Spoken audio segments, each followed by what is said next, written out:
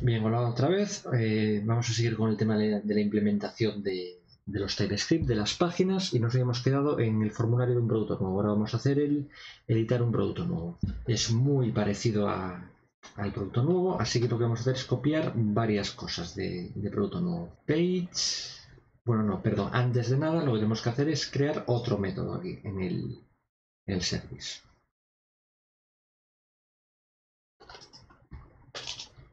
Le llamaría actualizar. Y esto a mayores de un producto va a llevar el ID. id number. Voy a venirme al backend un momento. Vemos que aquí sea create y aquí sería update. Y este lleva path variable, lo mismo que en el detalle. El método es put Y aquí sería, a ver cómo lo hemos llamado, update. Estas comillas, slash, dólar. Abro y cierro llaves y de. Bueno, pues ya lo tenemos. Cierro este, el producto cero también. Necesito también lo de detalle. ¿Dónde está detail? Para copiar el, Voy a copiar todo esto.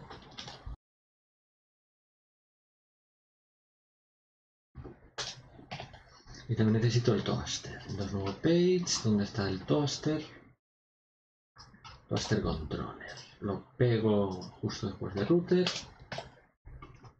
El detalle lo voy a cerrar que no lo quiero. ¿Qué más? Estas variables también me hacen falta. Y voy a empezar a importar producto. Producto service.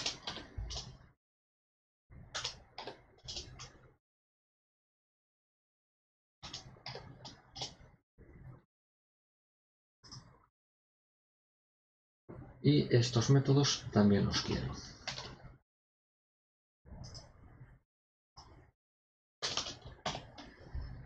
Voy a tener un método llamado on update.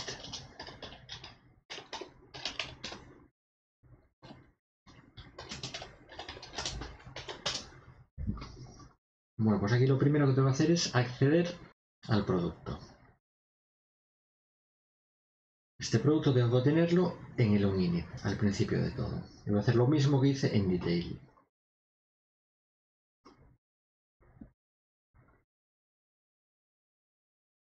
Voy a cargar, lo copio.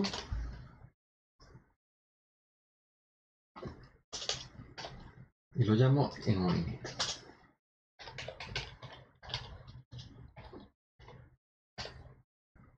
Para actualizar necesito el ID. Y lo voy a pegar ahí. Y luego nuevo page, lo está haciendo. Copio todo excepto esto de mis producto. Porque el producto ya lo voy a tener creado. Sería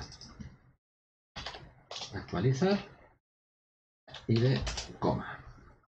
Voy a venir a la vista ya de editar page y aquí nombre va a ser lo mismo en Gmodel y va a ser producto. Producto nombre. Precio con minúscula. Model. Igual a producto. Precio. Y aquí hay una cosa que no vale para nada que es eh, nombre y precio porque este producto existe también aquí que está pasando, le da problemas. Pues nada. Producto.nombre y aquí producto.precio. Voy a guardar. Bueno, antes de nada, a poner válido el botón de, de actualizar. y lo que hago es lo copio de aquí. Así tecleo menos. Ahí tenemos el alias, correcto. Submit on update, vamos a comprobar primero que está bien el método. Ok. Pero si os habéis dado cuenta que hay una cosa, esto va a tirar error, lo mismo que detalle page. Detalle page, bueno, en la vista, tengo que asegurarme primero que existe el producto antes de dibujar nada. Entonces, puedo hacerlo como un detalle o si no, ahí voy a hacerlo de otra forma para que veáis. Tengo la new, pronto, vacío y null. Estoy inicializándolo, pero con valores nulos. Ahora, si me vengo a editar,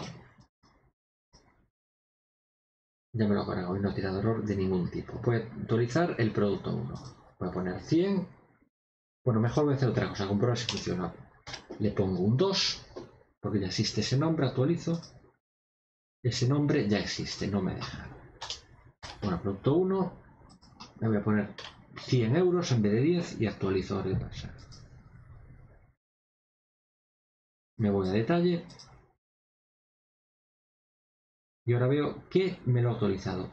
100 euros. Vuelvo. Le voy a cambiar el nombre. Lo dejo en prod 1. Actualizo. Y aquí me está tirando error. Pero si le doy a F5, si lo actualiza. ¿Y qué pasa? Pues pasa que esto no está utilizando el onInit. Entonces tendríamos que llamar, en vez de onInit, llamar ionView will enter. Entonces voy a cerrar todo. Y me vengo a eh, admin. admin page.typescript sería ion view. Esto es cuando vaya a entrar en la vista.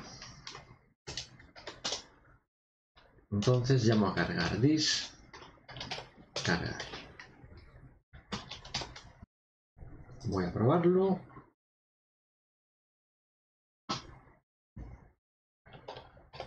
Producto 1, actualizo. Y ahora sí lo he hecho. Voy a probar de nuevo. Prod 1, actualizo y ahí está. Bueno, está aquí este vídeo. El siguiente nos queda el método eliminar. Un saludo a todos y gracias por ver.